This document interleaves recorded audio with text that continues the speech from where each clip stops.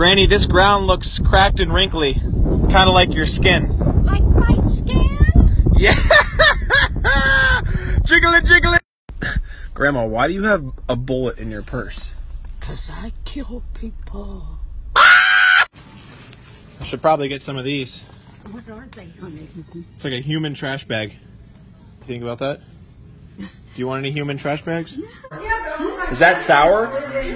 Oh, I would have thought it was. It's good?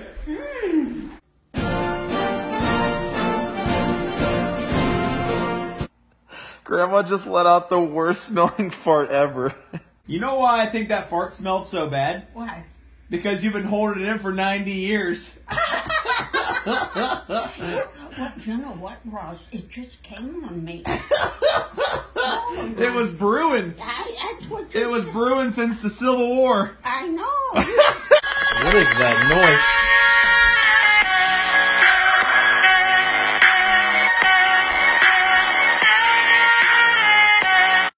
Granny, I think we should get you in that outfit right there. I'm sure we should. Yeah, Ah, I, a little jazzy. I could see me dressed up that way. Holy crap, Granny, I got a ton of ones. You know what that means?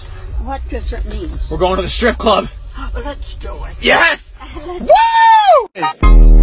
Mama, would you like to be my sunshine? Nigga, touch my game, we gon' Call those turkeys, Grandma. Okay. Gobble, gobble, gobble. Gobble, gobble, gobble.